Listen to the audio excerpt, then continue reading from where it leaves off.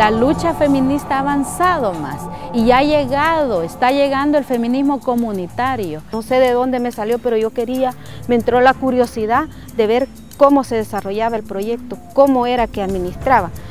Entonces, ya perteneciendo eh, en la elección, pues me eligen como directivo de ARA.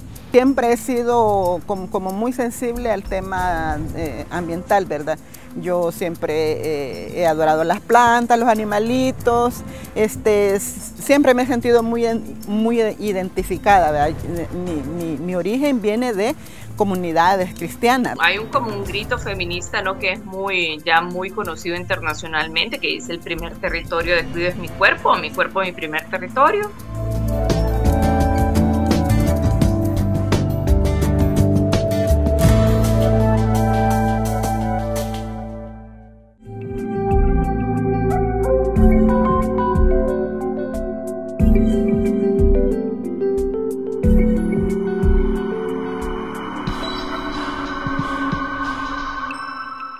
Bueno, yo este, soy la coordinadora general, ¿verdad? Este, pero dentro de la organización eh, tenemos comisiones y yo soy parte de la comisión de formación, eh, autoformación y debate político dentro del espacio. También este, eh, formo parte de, de las coordinaciones y alianzas que tenemos en la organización. La autoformación de que, que este, es necesario, es necesaria en los espacios, ¿verdad? Y más un espacio como el nuestro que, que nos, nos eh, nombramos eh, ecofeministas.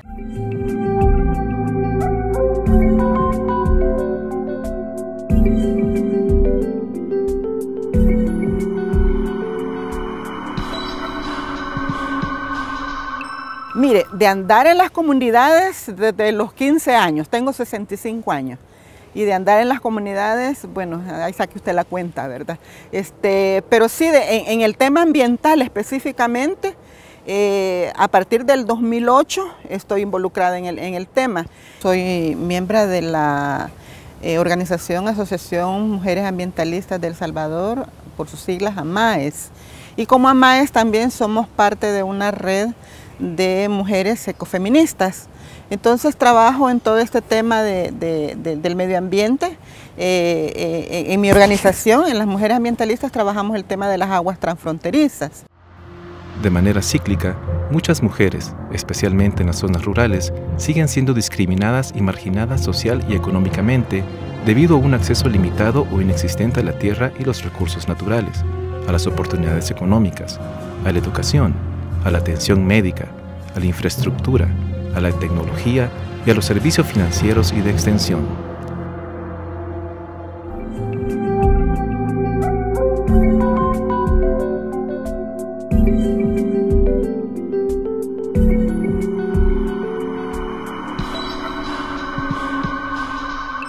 Nosotros vivimos eh, en Santo Tomás, en una colonia en donde eh, se quería instalar una planta de baterías.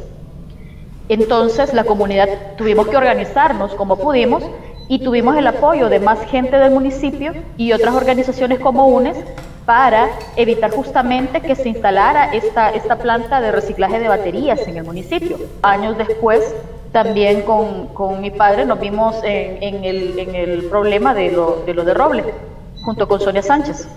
Eh, mi papá fue una de las personas que quisieron llevar a juicio desestimaron los cargos, a Sonia la siguieron, le siguieron el juicio por difamación, pero ese, ese trabajo que hicimos de defensa del territorio en, en el lugar también fue, fue un asunto conjunto.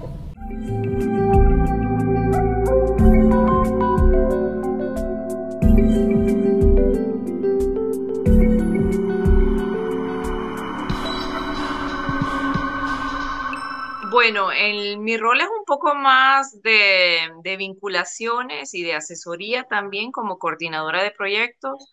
El formo un vínculo entre la cooperación solidaria alemana, que viene en los fondos directamente del BMZ, con organizaciones de base o organizaciones de segundo nivel que trabajan con organizaciones de base también de mujeres que están en la defensa de los territorios principalmente ahí es un poco donde se da como la, la, relación con el ecofeminismo, ¿no? Existen muchas tendencias dentro del ecofeminismo, depende de dónde, de dónde surge y en qué continente estés. El ecofeminismo en Sudamérica, por lo menos, a diferencia de Norteamérica, que tienen sus diferencias marcadas, se está desarrollando mucho en relación con la defensa de los territorios. Y las mujeres que lo abrazan son muchas de las mujeres que están en primera línea en la defensa de los territorios.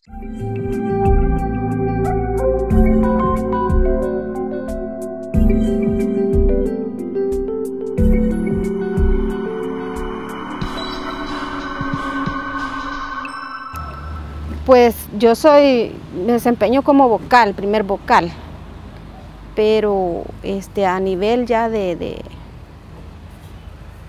de, lucha, pues, se puede decir, vea, eh, quizás soy, soy una de las principales que, andamos, perdón, en esta lucha, eh, viendo a ver qué podemos hacer por, por detener esos grandes proyectos que nos vienen encima.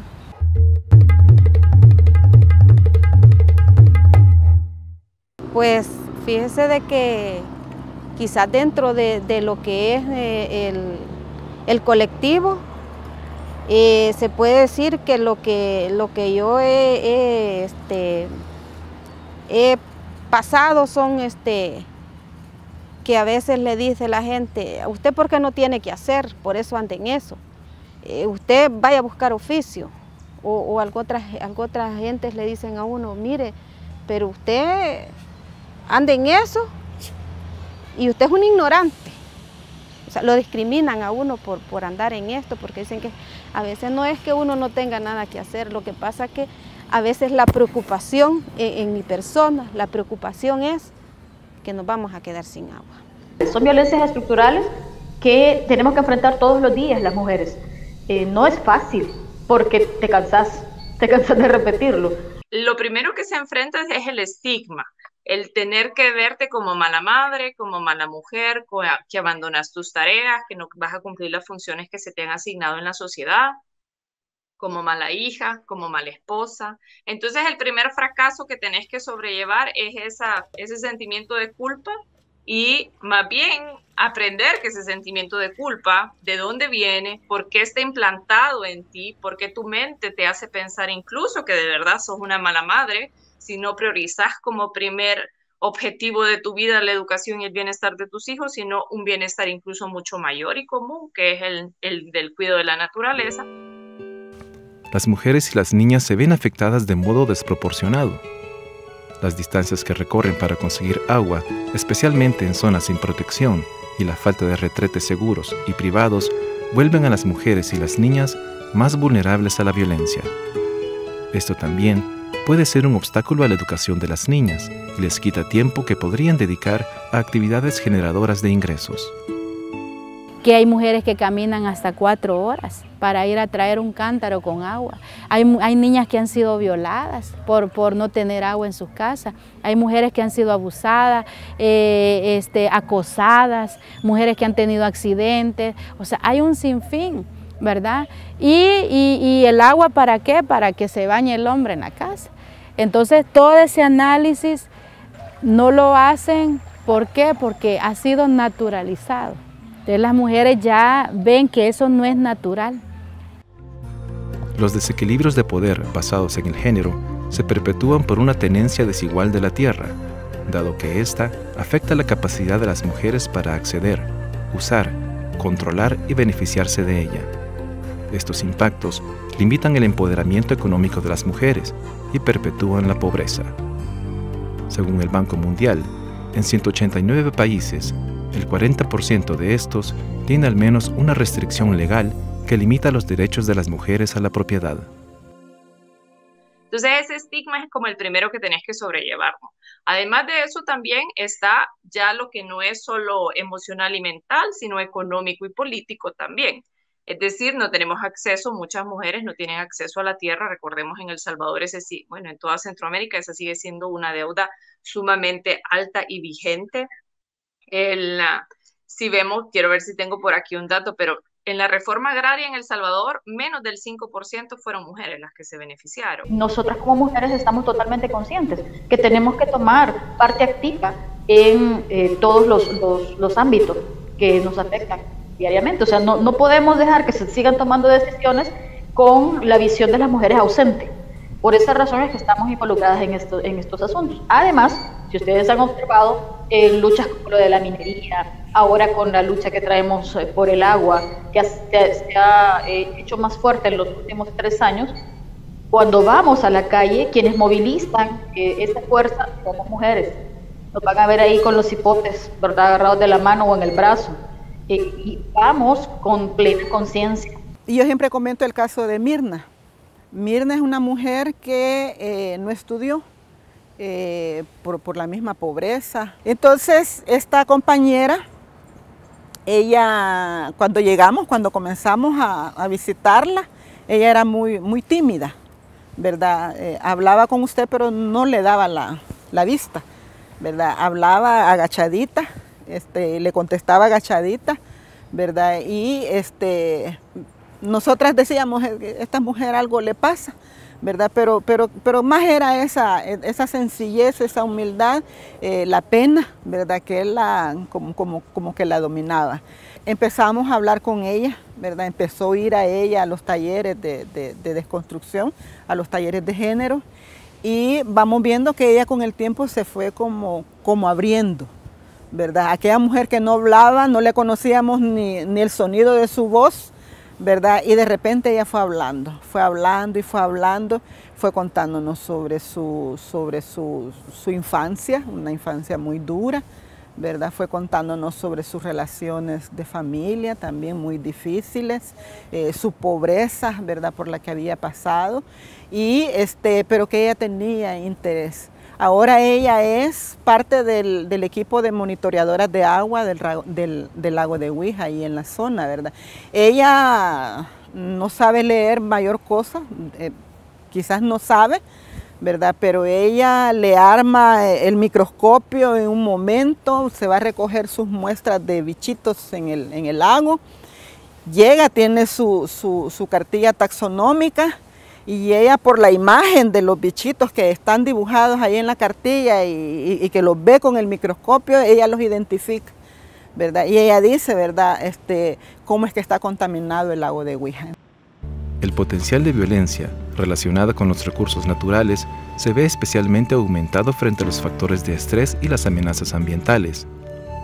Estas condiciones crean situaciones en las que el control de unos recursos más y más escasos o degradados es cada vez más difícil, resultando en mayores tensiones, un aumento de estrategias de respuestas negativas y una menor resiliencia para las familias y las comunidades, afectando a las vidas y los medios de subsistencia.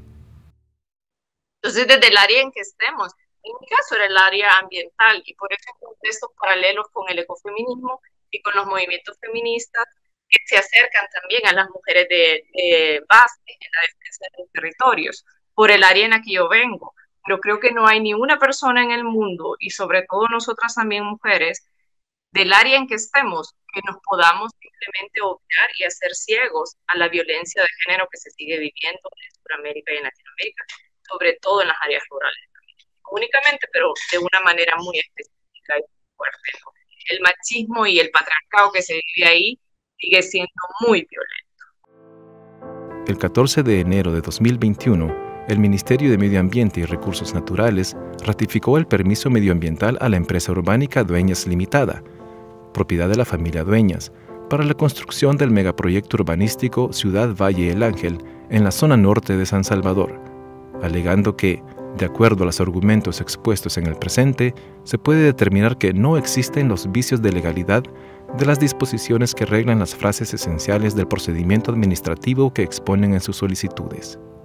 Este proyecto contaminará directamente la cuenca de agua del río Chacalapa y reducirá la capacidad de recarga hídrica del manto acuífero de la zona, entre otras afectaciones. Porque esa es la lucha que ahorita tenemos nosotros, de que no, se, no construyan el plan parcial Valle del Ángel, porque si eso se llega a dar que ojalá y, logremos este, todos unidos porque ahora es un colectivo bastante grande y tenemos la fe y la esperanza en Dios que Él nos ayude, que Él toque esos corazones de, los, de los millonarios que piensan hacer esas construcciones, que no las hagan porque nos van a dejar sin agua. Somos aproximadamente 7 mil personas afectadas directamente, aparte de la gente que se abastece por medio de pipa. Entonces, este, nosotras ahorita estamos llevando a cabo esa pelea porque no se dé este, la ciudad, eh, la construcción de, la, de, la, de la familia Dueñas, el proyecto Valle del Ángel. Este, estamos luchando porque este gobierno no dé los permisos. Es una lucha desigual, por, por inequitativa, por mucho, pero es una lucha que vamos a continuar haciendo las mujeres y por más que nos desmotiven y por más que, que nos digan de cosas, eh, nosotros somos, eh, en, el, mejor sentido de la palabra, necias en el, en, el punto en que tenemos que eh, ser incidentes, tenemos que ser parte de, esa, de esas realidades que nosotras queremos transformar. Entonces, toda esa zona de Apopa, Valle de Ángel, este, perdón, el Ángel, ¿verdad? Esas son zonas que se van a ver, se van a ver afectadas, ¿verdad? ¿Y qué va a significar? Que las mujeres van a, van a tener que ir a buscar dónde, dónde buscar el agua, dónde tener el agua. Si la compran, va a ser mucho más cara, ¿verdad? Pero si la tienen que ir a buscar a otros lugares, eh, se exponen a violencias, a violaciones, a inseguridades, este, eh, a, una salud más deteriorada, ¿verdad? No va a tener tiempo para, para, su, para su propio cuerpo, para su salud, para, para desarrollarse, para participar en sus comunidades, ¿verdad? Las defensoras ambientales consideran que la concesión de permisos para proyectos que dañan el medio ambiente también se puede considerar como violencia contra la mujer porque nos están violentando nuestros derechos, porque tenemos derecho a la salud, tenemos derecho a la libre expresión, eh, tenemos derecho a la vida, derecho a ser bien tratadas y, es cosa que no hacen las instituciones, ni mucho menos estos constructores. Claro, claro, ¿verdad? Porque quien pone el agua en la, en la casa somos las mujeres. Este, y es una violencia para, para, el medio ambiente también, ¿verdad? ¿Qué piensas? Sí, te invito a que lo reflexiones un poco más y que de verdad te pongas a pensar cuáles han sido las diferencias en tu vida que te han marcado por ser mujer. Hay cosas obviamente positivas, muchísimas positivas, pero cómo el patriarcado de verdad te marca en tu forma de pensar, en tu forma de relacionarte con los hombres y con las mujeres, y en la forma en que uno trabaja también y se expresa, ¿no? El, en cualquier área que uno esté, uno se puede acercar a una lucha feminista y uno se puede acercar a una lucha ambientalista. Por eso el llamado especialmente para las mujeres. Esto no quiere decir que los hombres nos involucren, ¿verdad? Claro que deben de involucrarse, ¿verdad? Y dejar que las compañeras se involucren también, ¿verdad? Porque la lucha no es solo de mujeres, aquí la lucha es de hombres y mujeres, ¿verdad? Siempre, siempre estamos peleando con gobiernos, eh, de izquierda, de derecha, siempre, siempre la lucha, aunque unos han sido más, más, este, más abiertos al, al, diálogo, ¿verdad? En donde mínimamente se han podido lograr cosas, ¿verdad? Pero este, podemos decir de que de los años 90 para acá ha habido un crecimiento en la lucha en la lucha feminista y ahora que se está levantando más la lucha ecofeminista. Entonces, eh, es, es difícil. No es un trabajo fácil para nadie hacer defensa de derechos, porque hacer defensa de derechos es enfrentarse a alguien más, pero eh, es un trabajo que hay que hacerlo. Y desde la perspectiva de nosotras las mujeres, nosotras tenemos que continuar trabajando para lograr esos espacios equitativos, para lograr que se escuchen nuestras voces y las de las compañeras que no, que no han tenido la oportunidad como nosotras de hacer esa defensa. Gota, gota. El agua se